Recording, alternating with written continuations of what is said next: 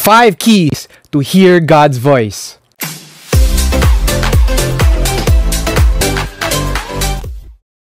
Hey, Spirit Fam, these are the five keys to hear God's voice.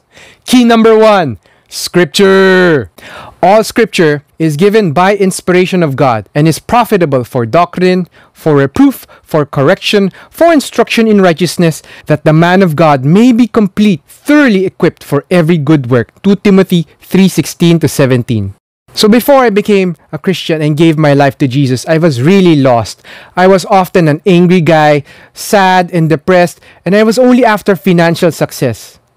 Growing up, you see, we were very poor, and my dad told me, study hard, get good grades, and get a job. And because of this, I was really lost in life. I got into a lot of get rich quick schemes and lost a lot of money. I dated a lot of girls that caused me a lot of heartache. I made some friends who weren't really friends at all. They were okay when we had good times. When we hung out, when we traveled, when we partied, it was okay. But when bad times came, they weren't there for you. Those were the type of friends that I had. It all turned around when I started hearing God's voice through scripture. Because when I gave my life to Jesus, that was the first thing my church taught me read the Word of God. God's voice will not contradict God's Word. That's point number one scripture. Key number two quiet yourself down. Psalm 46:10 says, Be still and know that I am God. If you can't hear God's voice, maybe it's because we're too busy with the worries and hustle bustles of life. Set aside a scheduled time in the morning, 5 to 10 minutes or more, just to read the Bible and hear His Word. When you set a routine and make it a habit, you'll notice the changes in your life. I noticed that I became a less angry person. I became a less depressed person. And in the darkest moments of my life, when I was all alone, I noticed that God's voice constantly reassured me that everything was going to be okay. So, how about you guys? Have you read the Bible from cover to cover? I would love to hear from you in the comment section. Just leave your favorite Bible verse down below. And while you're at it, hit that subscribe button and the notification bell so you can get your spirit filled content on demand every week from me. Key number three fix your eyes on Jesus. John 10:27 says, "My sheep know my voice and they follow me." You see guys, my full-time profession is a real estate broker. Growing up, my dad always taught me work hard, get good grades and get a job. So I started selling real estate for a big company here in the Philippines. And I made some kind of money, but it was never enough. And I never knew why. Money was always tight and bills started to pile up.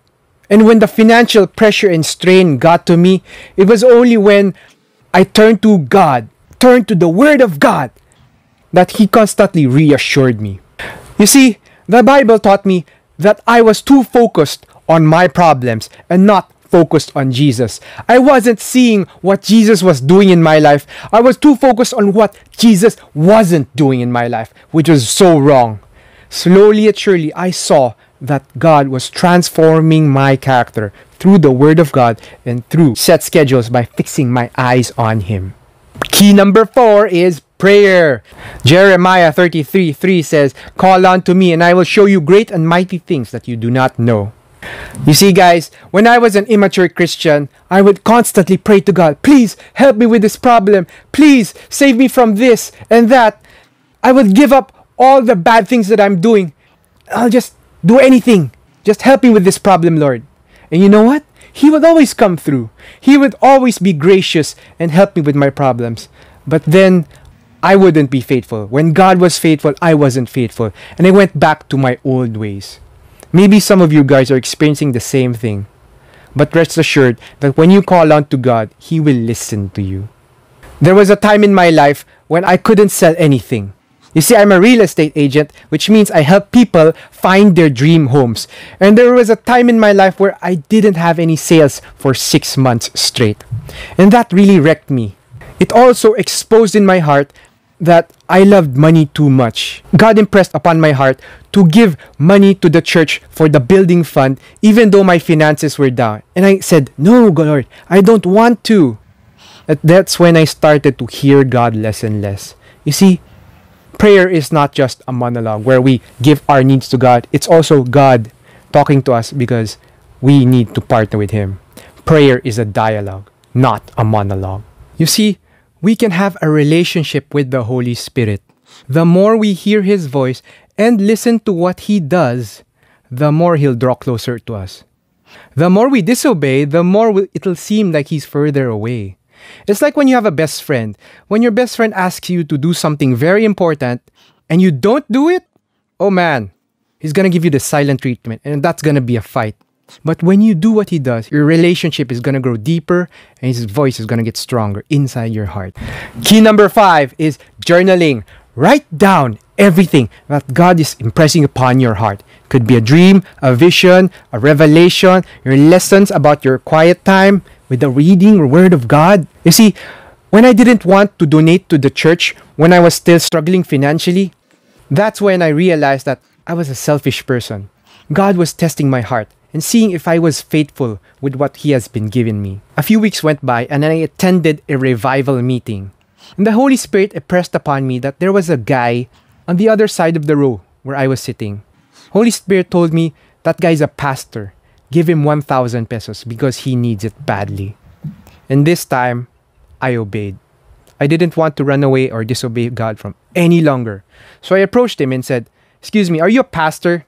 Holy Spirit told me to give you this amount of money. And as soon as he turned to me and accepted the love gift, he prayed for me. He told me, You know what? I've never met you in my life.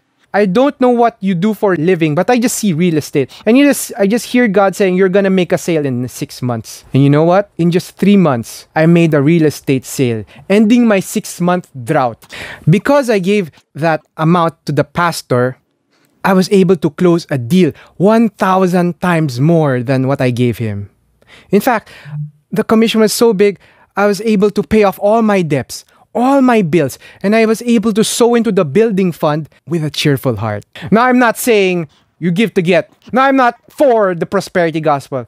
What I'm saying is when you sow and when you obey the voice of God, He will give you so much more. Because when you're faithful with the little, He'll give you so much more. And so you see, guys, there is blessing in obeying God's word.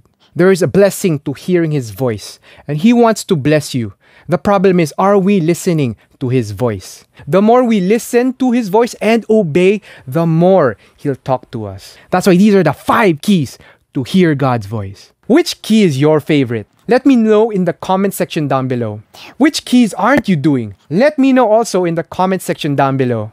Don't forget, hit that subscribe button and hit click the notification bell so you can see all the spirit filled content on demand that I'm gonna pump out every week just for you, Spirit fam. Till next time, guys, see you and let me know which keys are your favorite and which keys aren't you not doing yet. God bless.